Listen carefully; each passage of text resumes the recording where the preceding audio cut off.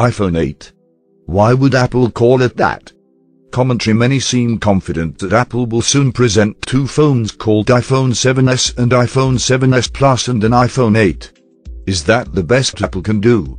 Many people seem to know the name of these babies, even before the babies are born. And before the parents have said anything, even whether there are three of them at all. Apparently, it's going to be iPhone 7s, iPhone 7s Plus and iPhone 8. The first two are supposed to be updates with some allegedly exciting extras, such as wireless charging and better cameras. The last one is said to be the radical redesign, with an OLED screen and without a bezel. The received wisdom has it that Apple has followed such supposed numerical rules many times before. An odd year gets an S phone. A totally new phone gets the next number up. I have numerous reasons to be skeptical, not least is my imagined first line of Tim Cook's announcement. We have some great new phones for you today. Some feel a bit old, but the last one's really exciting. Would Apple really name its phones so the two feel like last year's and the third is the only one you should be excited about? Wouldn't the company prefer that each one be part of a new family, so that each can harbor its own level of excitement? This year is the 10th anniversary of the iPhone. The newest phone is said to actually be substantially different from the last. At last. Why, then, would Apple think without substantial difference about what it should be called? Many people skipped the last upgrade, as the iPhone 7 resembled iPhone 6 just a little too much, especially in terms of physical design. Why make them feel they're getting a substantial novelty by calling all the newest phones iPhone 10s? Certainly, that's one of the possibilities that my colleague John Falcone floated when he looked at the rumored choices. But I have more reasons why the currently rumored names feel dull. Why would you launch two phones with the iPhone 7 moniker, when Samsung, by the time Apple announces, will have already launched two phones called Galaxy S8? Why not, at the very least, call your updated phones iPhone 8 and 8 Plus, or even iPhone 9 and 9 Plus? And make the newest phone the iPhone 10. Or why not just call them all iPhone 10s? Yours is only a 7. Oh, dear. At the crudest psychological level, and, as we've surely noticed in recent times, human psychology has some highly crude aspects, wouldn't you rather have a 9 or a 10 than an 8? If Apple calls its phones 8s, just like Samsung's, it's almost a subliminal admission that each brand's respective phones really aren't too dissimilar. It's like BMW releasing its 3 Series cars and then Audi releasing cars also called 3 Series. And there I was thinking marketing was about differentiation. Some fancy that the newest, top of the line, possibly very expensive iPhone will be called iPhone Pro. Just as the iPad now has an iPad Pro. I'm anti that. The Pro part tries to convince you of that. The mere thought of a phone that's now primarily a business tool immediately takes some excitement away from what has always been a personal device. Business is not about excitement. I'm naive enough to be fond of excitement. Then again, perhaps that's precisely where Apple is aiming. Some smart money will therefore surely go on the first two phones being iPhone 10 and iPhone 10 Plus and the fanciest one iPhone 10 Pro. This is all, though, theoretical entertainment. You could even argue that it has to be the iPhone 8 series because the number 8 is lucky in China. But what if there aren't three phones? What if there are only two? What if there are four? What if the fanciest phone won't be available for six months? Thank you for watching. For the follow-up, subscribe to the channel yourself here. Enough evidence from previous launches that Tim Cook has something else in mind. With all the talk of the iPhone 8 online, it's unlikely that even Apple's ivory tower view of the media would release three handsets with numbers lower than 8.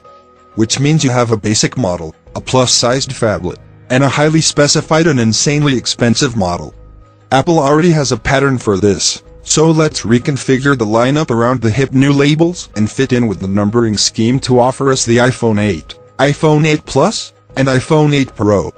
Except Tim Cook apparently has arithmophobia, so let's drop the 8 bomb and regenerate the lineup in the 10th anniversary of the first Apple smartphone. iPhone. iPhone Plus, iPhone Pro. Some justification on the new naming conventions here. Can Apple really live without Touch ID? Touch ID, the biometric fingerprint scanner on the iPhone range devices, looks set to be missing from the iPhone 8. Thanks to the removal of the home button, Touch ID would have needed a new home in any case. Options such as embedding it in the power button or using the Apple logo on the rear chassis have been mentioned, but these are being ignored. Tim Cook is going to gamble on losing Touch ID altogether and rely on facial recognition. As leaked in its own software, Apple will instead move all iPhone 8 security to Face ID, a new facial recognition that will hopefully work better than Samsung's erratic implementation in the Galaxy S8 and Galaxy S8 Plus which struggles in bright sunlight, low light and when wearing glasses slash sunglasses. But Samsung played it safer than Apple, because both the Galaxy S8 and Galaxy S8 Plus still retain their fingerprint sensors as a fallback. They're idiotically positioned, but they were still my default method of unlock within a week of using each phone. More here on Forbes. Improving your portrait. Lurking inside the latest iOS 11 beta release is new code for Apple's portrait mode. This is the dual camera powered bokeh effect, where the subject is in sharp focus, while the background goes out of focus. Apple has refreshed the settings, but also stores data of the original image capture so you can remove the effect for a clean portrait at a later time. Mike Wuerthele has more. Portrait mode not only has exited its beta status, but has seen some improvements as well. The procedure to take the shot is unmodified, but the edit feature now allows for the effect to be removed at will, and non-destructively. The effect still can't be applied retroactively if the image wasn't taken in portrait mode to begin with. All the details are at Apple Insider. Calling Dick Tracy, Apple style. For a companion device, a lot of people want the Apple Watch to operate independently from the host iPhone or iPad. Apple more than likely has the technology to do so inside Cupertino's labs, but is it ready for the public? Bloomberg's Mark Gurman believes so. Currently, Apple requires its smartwatch to be connected wirelessly to an iPhone to stream music, download directions and maps, and send messages while on the go. Equipped with LTE chips, at least some new Apple Watch models, planned for release by the end of the year, will be able to conduct many tasks without an iPhone in range, the people said. For example, a user would be able to download new songs and use apps and leave their smartphone at home. More on the unconnected Apple Watch potential here. Go large an option for new MacBook Pro. As it stands, the MacBook Pro machines top out at 2 terabytes of storage, provided by a pair of 1 terabyte VNAND package. Now that the South Korean company has been able to increase the size of these chips, Apple will have the option to ship a Mac machine with a whopping 4 terabytes of storage in the near future. Samsung announced a 1 TB VNAND chip that it expects to be available next year. Initially mentioned in 2013, during unveiling of the industry's first 3D NAND, Samsung has been working to enable its core memory technologies to realize 1 terabit of capacity on a single chip using a VNAND structure. The arrival of a 1 TB VNAND chip next year will enable 2 TB of memory in a single VNAND package. More at Samsung, and a tip of the hat to Ben Lovejoy. And finally, following the lukewarm reception to Planet of the Apps, Apple's second original series has debuted and the reaction has not improved by much. Carpool Karaoke takes the short format sketch from the Late Late Show, it over to Apple's distribution system, and increases the runtime. Has it worked? Rebecca Nicholson reviews the show. Apple has supersized his formula but, in doing so, has managed to misunderstand entirely what it is that made it charming.